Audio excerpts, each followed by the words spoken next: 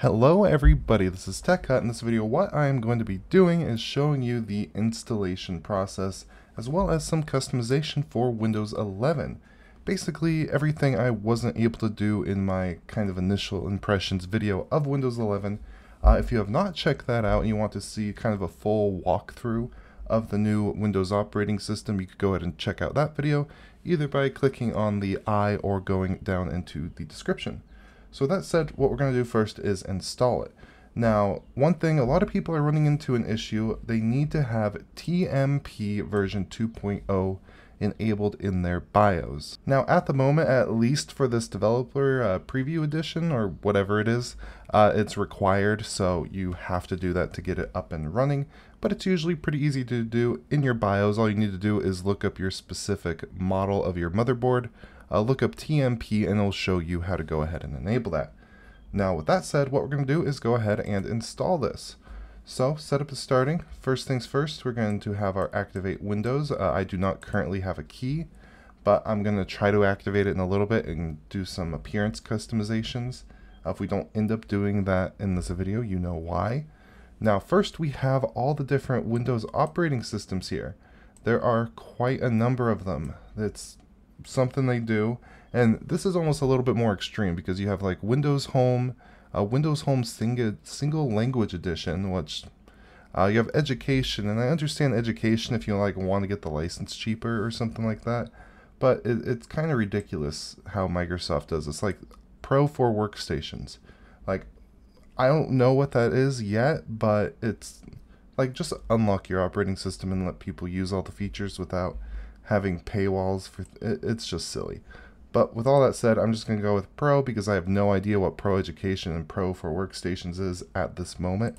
So let's go ahead and go next. All right, so we have the terms of service. If you'd like to, you could go ahead and shuffle through all this. I'm going to accept it for the time being. Go next, and now here is where you either upgrade it. If you already have Windows installed on your only hard drive in the computer, you go ahead with this option. But for most people, you're going to want to go custom and go ahead and select the drive that you plan on using. If you if it's already formatted to something like a Linux distro or anything like that, you're going to want to go ahead and delete the drive. Uh, unrelated, if you're deleting Linux to go to this, uh, it's not my personal recommendation, but we're going to go ahead and select this drive, go to next, and you'll notice that it looks a little stretched out because I'm running in a VirtualBox at the moment, uh, so it's not really going to look distorted like this on your monitor. Hopefully, anyways. so we're going to wait for this to finish up. We all know this process. Copied all the Windows files. It's going to get everything ready and basically just install everything. And we will be right back. Alright, so everything that we just did has been basically the same for every single version of Windows. I think Windows 7, Windows Vista might have been a little bit different, but it's been the same. There was no big differences. Here, there are differences. There's no actual innovations or nothing new. It's just a completely uh, redesigned uh, process, but everything that was in Windows 10 for the installation is there, and everything that was not there is not there, basically. So, uh, pick the right country or region. For me, it's the United States. So we're going to go ahead and go next. Here we pick our keyboard, which is United States. Uh, I'm going to skip the second layout for now and then it's going to go ahead and check for updates. Alright, so there was not any significant updates, or at least it did not say there was. So now we're going to tell it how we would like to set up our devices, and we are going to set this up for personal use. So give that a click and go next. Down here you have your accessibility stuff, but we're not going to get into that now.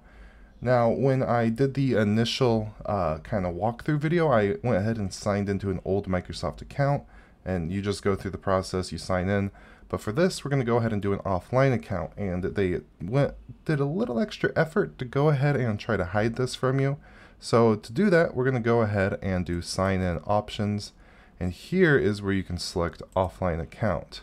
So we're going to go ahead and do that. And we're going to have to tell it again, yes, I want the limited experience. So let's go ahead and limit our experience. In reality, you're just limiting the um, trackers and all that fun stuff. I'm to type in my full name. I'm to make up a secure password. And we'll set it out loud. Whoops. And now we're to run through this process of our security questions. So my first pet is 123. My city I was born was also 123. And it just so happens that my childhood nickname was 123. Alright, so we're going to go next. And now here is where you can uh, change your privacy settings. So basically for this, just like with Windows 10, you want to probably go ahead and just say no to just about everything. From here, we could go ahead and accept that. And now it's going to go ahead and create our account and get everything set up. Um, this takes usually takes a very long time for some reason. Um, you can see it's getting things ready for you and it's going to be doing that for probably about the next five to ten minutes or so. A few minutes, yeah, it's going to take a few minutes. okay, so we'll be back and we will be booted into the Windows 11 desktop environment and then I'm going to go ahead and see if I can get it activated. So we will be back. Alright, so getting that activated was actually a lot easier than I thought it was going to be. I went ahead and installed the VirtualBox driver so it doesn't look as stretched out. It is looking pretty good and now what we're actually able to do is go ahead and go over to personalize and check out what we got going on here. One thing about this version of Windows is the backgrounds are absolutely beautiful, at least the default ones that come with the system.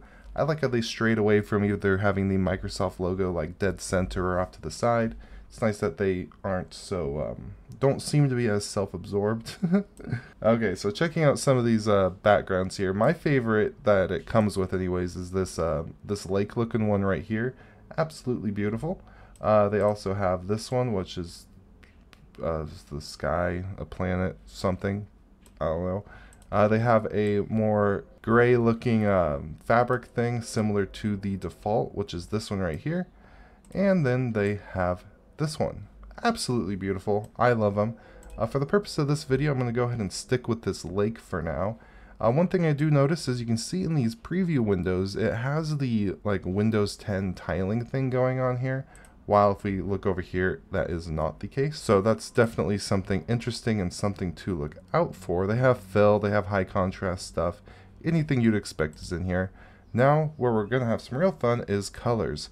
I like dark themes, so let's go ahead and switch it over to dark, and that is so much better. It's absolutely beautiful. They went with a solid black, which is super cool, and then they have the very mild transparency effect in the side panel windows here.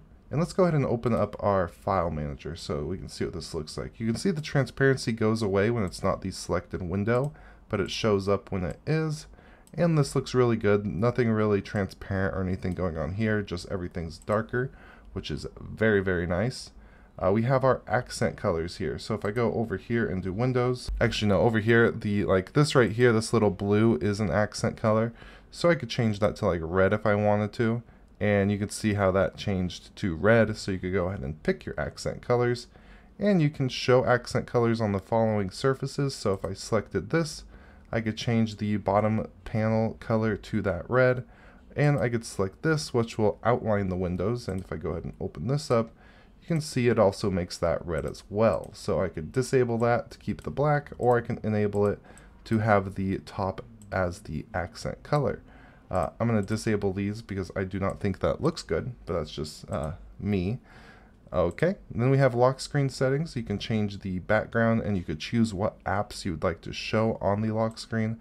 So if I go ahead and add one, I could add like weather to show. I could add the Microsoft To Do, Solitaire. You can add a lot of little things that you can quickly access from the lock screen if you like have your laptop off, off to the side or something you don't want to log in, but you want to quickly scan the weather, uh, stuff like that. Here we have the background. You could select a, a, specific picture if you'd like to, and you could obviously browse and select your own picture, which that is very handy. Um, let's go ahead and do that actually. So let's select uh, this right here. This is a more of a sunset one. It's the exact, is it? Yeah, it's the exact same as what we're currently rocking with the background, except for it's at sunset, so that's going to be super pretty. So let's go ahead and uh, log out real quick. So can you do that? Or how do we lock it? So Control Alt Delete. Uh, sign out. Ooh, that red is super bright. Oh yeah, this looks nice. It looks exactly like Windows 10 for the lock screen. Uh, if I go ahead and swipe up, Uh, I'm not seeing the weather or anything. I probably have to like log into a Microsoft account to get all that set up. But I just wanted to see that background change there.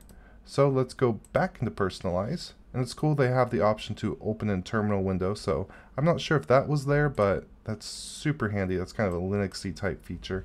One thing about this is this, and a lot of you guys mentioned it in the comments of the other video, this looks really similar to a like customized KDE Plasma type experience all the way down to how the start menu looks and everything. It is incredibly weird. Oh, you can't do the... Oh yeah, you can. See, open in Windows Terminal and it automatically, or it should, yep, put us into that directory. So that's nice, and it looks like the PowerShell actually got some updates too, so that's cool. So let's go ahead and log out of there and let's go down to themes. So this is our theme settings. Um, so these are just pre-configured um, accent colors and backgrounds and all that. So like if I go to sunrise, it's going to change this. Everything's going to go to white. The color is going to be teal. And you could use custom themes, save your themes, make your own, whatever you want to do. So I'm going to go ahead and switch this back to dark because I think that looks way better. The teal accent does look really good though. Over here we have fonts, there's nothing too special about that. Here we have start. So here we can go ahead and show our recently used apps, our most used apps, and you could show your recently used items. So like, let's say I wanted to disable this and go back. Well, I didn't really use anything, so you can't really see that, but you could also uh, get rid of this if you don't want the recently installed apps to show up, things like that. Right here we have a link to choose what folders appear on start so if I go over to start, you can see what it looks like. Now let's say we want to enable settings, documents, downloads, and um, that's it. And if we hit the start menu now, over here where these icons are, you could see everything that we just went ahead and enabled, including the downloads, file explorer settings, and all that jazz. So that's where these are placed. So let's say I went ahead and just enabled everything so you can see what it looks like. Oh, not that, my bad start menu, you can see everything. It's starting to look a little crowded. You're not going to probably want all of these, but you could go ahead and add those shortcuts there. So now let's go to go back and go to the taskbar. Now the center alignment thing is kind of a big deal. It's the first time I think ever since that's been changed. Granted, it's not very innovation, it, well, innovation, innovational. It's not significant, but it's cool. I don't know. But you could always just throw that back to the left and have your old school how you'd expect windows to be, or you can place it on the center. And then you have all the general settings that you'd expect, such as show the widgets, show the desktop button, and all of that stuff. And you do have links within all of these menus to see or to go to a Microsoft page on how to customize the taskbar but you can see that this is Windows 10, so the links aren't really relevant to the new operating system. Lastly, we have a section called a device usage. It says select the ways you plan on using your device to get customized suggestion, tools, tips, and services. Uh, I wouldn't use this personally, but if you really want to, you can select gaming and then it will uh, spam you and probably, it's probably a uh, really just integrated adware, but whatever. What, what can you do? But that, that's basically what I was not able to show you last time. So some other applications I didn't really open up was the Microsoft Store. But look, this looks fairly similar to Windows 10. And the other thing I didn't really open was the Task Manager. So if I go ahead, let's see, where is it? Am I going to have to Control Alt Delete? Usually you could right click and open the Task Manager, but that doesn't seem to be an option. So let's go ahead and do Control Alt Delete open up our task manager. And right here we can see there are no apps currently running, but if we go ahead and open this up, you can see everything that is going on. Under performance, it all it basically looks the same compared to what it looked like in Windows 10. One thing I do notice is the RAM utilization is very high. Um, and speaking of that, I'm going to be testing out the performance of this compared to Windows 10. So do make sure you're subscribed and you ring that bell so you don't miss that video. It's going to be one of my benchmarking style videos. Uh, if you're curious to see some benchmarking style videos uh, featuring Windows versus Linux, you could go ahead and check the pinned comment down in the description, which will take you to my other, uh, well, I'm not going to pin a comment. Uh, you could hit the I, and that will take you to a playlist with all of those videos. So, with that said, I do hope you enjoyed this video. It's got it's a good thing that I got this to work in VirtualBox so we are able to check out some of the things that we were not able to check out before. Uh, with all that said, uh, please like this video if you did, comment if you do have any comments, and I hope you all have a beautiful day, and goodbye.